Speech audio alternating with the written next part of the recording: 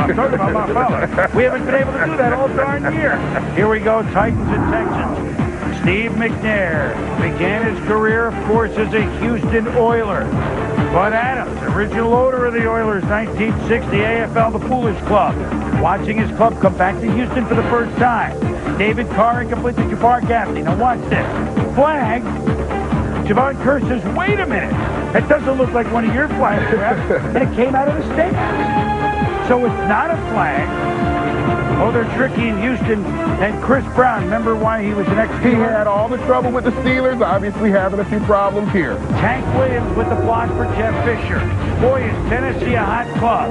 Jevon Kearse looking at flags, having his left foot examined. Meanwhile, Keith Bulluck stepping up, dragging down Agnar Paris from Cal State Northridge. Agnar. Agnar. Then Bulluck takes down James Allen.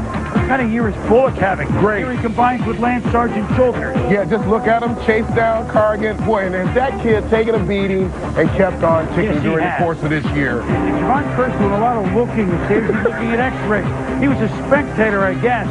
Meanwhile, he saw Eddie George. Look, Houston played Tennessee close twice. But in the end, Jeff Fisher's club down the stretch, Tom, 10 and 1. Hello. And the Titans secure the second seed in the AFC. They will be off, and then they will be home. They win it 13 to 3. And you said it about Carr. Gritty. Steve won four games in his first year. Yeah, and you win 10 out of 11 games. I will remind people they had no Pro Bowlers. They will be motivated in the playoffs. They'll also be good in the playoffs.